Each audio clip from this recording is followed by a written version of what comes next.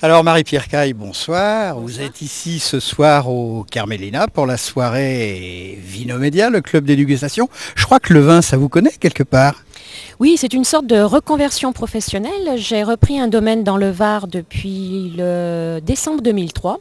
Et en fait, de temps en temps, je reviens à mes premières amours, c'est-à-dire que je, je viens aux soirées lyonnaises où on parle du vin. Donc voilà, c'est un joli concours de circonstances. Alors je crois qu'il a un nom, votre domaine, un joli nom, Château Mentonne. Voilà, c'est un domaine euh, qui existe depuis très longtemps, que j'ai repris donc il y a 7 ans et qui est dans le Haut-Var, à la hauteur de Draguignan. Quels sont les vins que vous produisez? Il n'y a pas que du rosé? Alors il n'y a pas que du rosé, c'est un domaine qui est dans l'appellation Côte de Provence. On fait du blanc, du rouge, un très très bon rouge très particulier et bien évidemment du rosé. Le blanc qui est intéressant et qui est peu connu quand même en Côte de Provence? Alors les blancs en Côte de Provence sont effectivement peu connus. La particularité de celui de Menton est un vin qui est fait avec des clairettes et on a donc des cépages qui ont plus de 50 ans, ce qui fait quelque chose de très très original. Des cépages et des vieilles vignes donc. De très vieilles vignes. Dans les cépages rouges, on a des carignans également qui ont presque 80 ans. Et euh, là, on est en phase de reconversion biodynamie pour essayer effectivement d'amener ce vignoble le plus longtemps possible. Donc c'est une expérience extrêmement intéressante. C'est une démarche actuelle, la, la biodynamie, le développement durable, tout ça, l'environnement? Alors il y a un phénomène de mode, on ne peut pas le nier.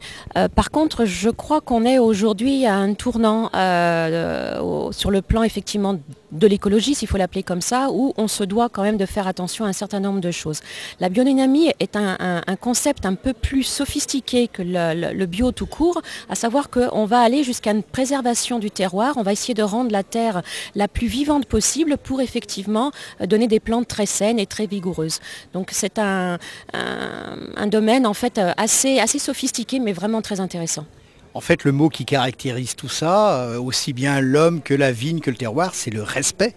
Voilà, il y a une euh, très grande notion de respect. Quand on s'attarde effectivement à, restaurer des vieilles pierres, euh, la moindre des choses que l'on peut faire, c'est faire quelque chose pour les vignes, pour le vignoble, pour cette partie du Var qui est d'une beauté exceptionnelle, et puis pour tous ceux qui nous suivront derrière, que ça dure le plus longtemps possible. Quelle est la superficie de votre domaine de Château Mentonne Alors c'est un grand domaine qui fait 170 hectares en tout, mais sur le plan de l'exploitation vignoble à proprement parler, on a euh, 27 hectares en exploitation. Vous faites de l'œnotourisme également? On peut se restaurer chez vous? Est-ce qu'il y a un gîte? Est-ce qu'il y a des choses agréables? Alors il y a plein plein de choses agréables. C'est un vieux domaine qui avait beaucoup de, de bâtiments que l'on rénove au fur et à mesure. Donc nous avons ouvert des chambres d'hôtes il y a maintenant 5 ans. On a ouvert un gîte l'année dernière et puis également j'ai retrouvé quelques euh, amours par rapport à la, tout ce qui est relationnel et euh, festivités puisqu'on a une grande salle de réception au-dessus du chai et on accueille des mariages, des séminaires et voilà. Et pas que des Lyonnais. Et pas que des Lyonnais, beaucoup de gens de toute l'Europe et même des quatre coins du monde. C'est formidable. Vous exportez un peu, je suppose, sur les 160 hectares du domaine, il y a une grosse part d'exportation, Marie-Pierre. Non, on n'exporte pas. En fait, on a remis à niveau tout le développement commercial du domaine, puisqu'il n'y avait plus rien d'existant quand je l'ai repris. Pour l'instant, on a un très gros développement en région PACA, pas mal de choses en région lyonnaise, je suis très contente. Et puis, tout doucement, ça commence à s'étaler et ça va être, euh, je pense, très bien. Donc on le voit, le vin, c'est vraiment votre passion. Donc euh, votre présence ici ce soir au Club Vinomédia, bah, c'est tout naturel.